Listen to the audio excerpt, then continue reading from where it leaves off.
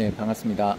오도리 해수욕장에 다이아몬드 카페를 운영하고 있으며 광해 보수 갤러리 카페 한국광해 보수 감정원 앵두금 승부무소 대표 박현철입니다.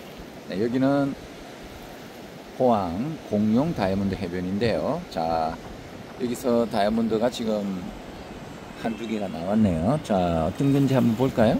한번 살펴보시겠어요? 어디인지. 자, 보이시나요?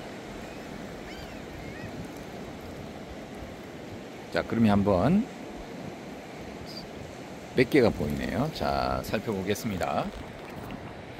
네, 요거는 뭘까요? 자, 여기는 원소스입니다. 요건 아주 블루 다이아몬드가 되는데 들어오려면 한 5년은 좀 더 쪄야 되겠네. 가볍고 조금 약간 부드러운 거는 이제 들어왔는데 얼핏 보면 화강암으로 착각합니다. 네, 요거는 공룡의 원소 블루 다이아몬드죠. 요것도 마찬가지로 소스는 지금 블루 다이아몬드 원소스예요. 하나가 있으면 옆에 다른 게 있는데 어, 좀 찌기 시작하다 그냥 아쉽게 조금 더 쪄야 되겠네요. 머리통이 공룡 머리통이 조금 약간 밀도는 올라왔고 경도도 약간 올라왔는데 아직 투명도가 떨어져요. 이런 거는 들어가고 자 요거 어 이건 좀 약간 핑크 쪽으로 들어왔는데 높습니다. 이런 거는 못 써요. 다이얼 하더라도 투명 너무 떨어져요. 자, 아까 전에 여기 쭉 요거 보십시오. 요거 요거 요거. 요거는 너무 좀 그래요. 저런 건 하나니까. 자, 여기 하나 나왔네요. 찾아 나왔죠? 네, 여기.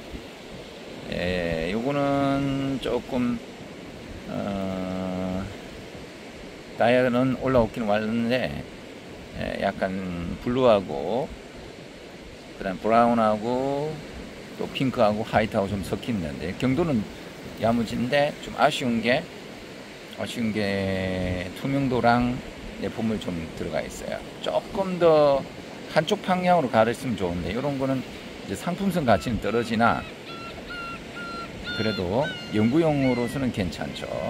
아주 재밌, 재밌는 다이아입니다. 자, 그 다음에 몇 개는 있는데 요거는 이제 사갔어요. 사갔고 저런 건 못 쓰죠. 이런 게 말고 좀 좋은 게 있으면 또그 주변 좋은 게 있습니다. 네. 자, 그럼 이상 광역 보습 갤러리 카페 한국 광역 보습 감정은 앵두금 승부무수소 대표 박현철이었습니다.